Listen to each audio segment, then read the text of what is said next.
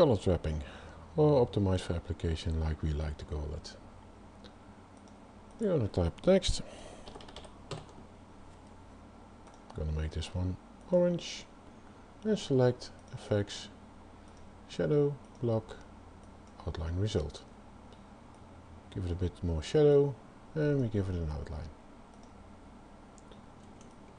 If you now would plot this, you would get this. This for the orange vinyl and this for the black vinyl. What if you want this to be stamped out of this one with an overlap? You either have to convert it to curves and do it manually or use color trapping or optimize for application. Select Edit and optimize for applications.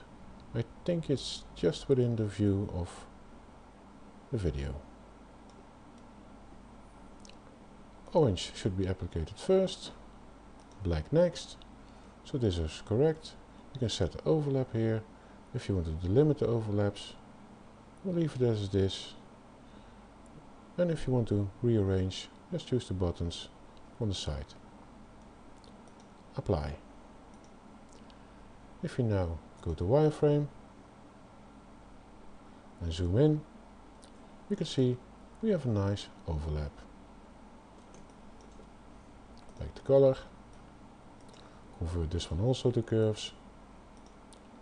And just replace it a little or move it a little. And you can see first the orange, then the black. We're going to plot this to file once. Select the object, insert, production, insert crop marks and leave the defaults as they are. To select. Plotting. By color, choose black, plot, and I'm going to override plot black here.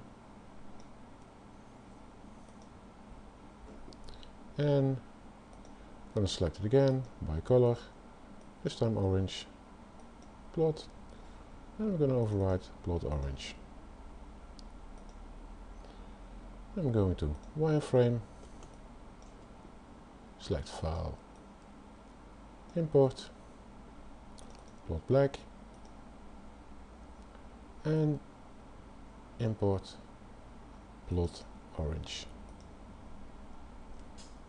And do just the same as on the worksheet.